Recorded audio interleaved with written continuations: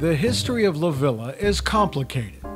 It began as an African American haven for freed slaves after the Civil War, before being annexed to the city of Jacksonville in 1887. Then came 1901 and the Great Fire that destroyed nearly all of downtown Jacksonville. Miraculously, La Villa was spared from most of the destruction.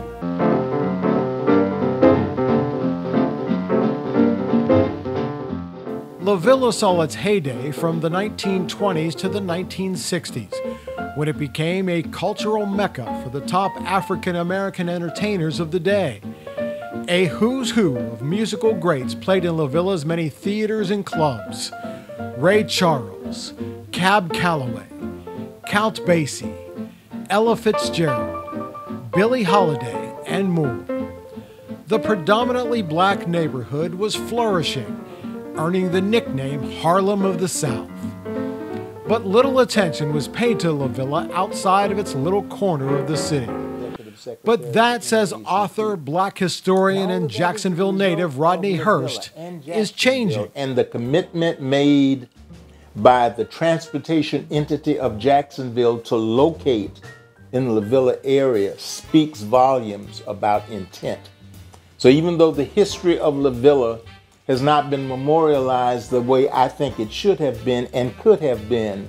The fact now that attention is given to LaVilla because of the commitment of JRTC, I like that. And I think that it is representative of going forward and taking Jacksonville along with it.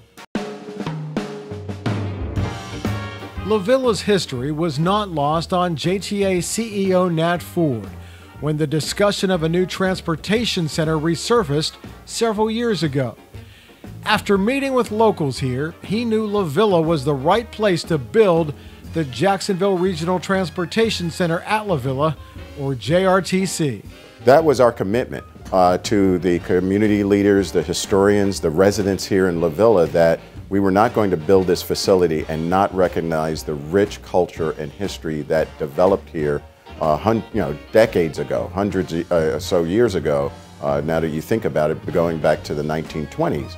And so uh, it was important for uh, me as the CEO, it was important to our staff, and it was very important to our board of directors.